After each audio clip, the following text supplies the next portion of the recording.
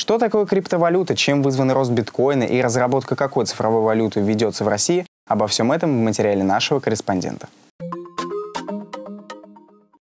Стоимость биткоина установила новый исторический максимум. В ночь на 17 декабря курс поднимался до 22 тысяч долларов, что следует из данных биржи CoinDesk. По одной из версий, повышение курса связано с тем, что один из банков Сингапура решил запустить собственную криптовалютную биржу. Однако не все эксперты согласны с этим. Рост и падение криптовалют, по сути, а, определяется, как сейчас говорят, хайпом по всему миру э, цены лезут еще вверх, еще большее количество присоединяется и так э, по принципу лавины.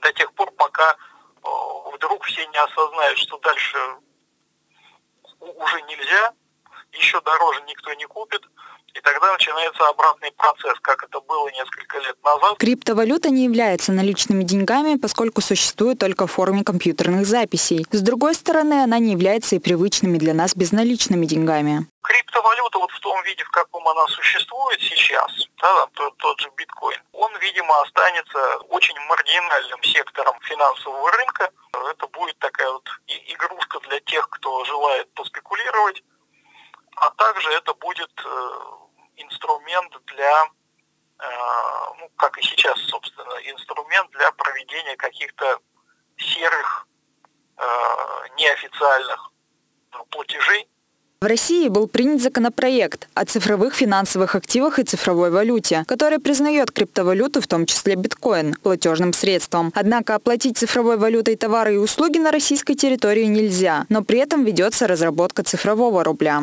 Чисто технологически цифровой рубль, он основан на той же технологии блокчейн, на которой основаны все э, криптовалюты.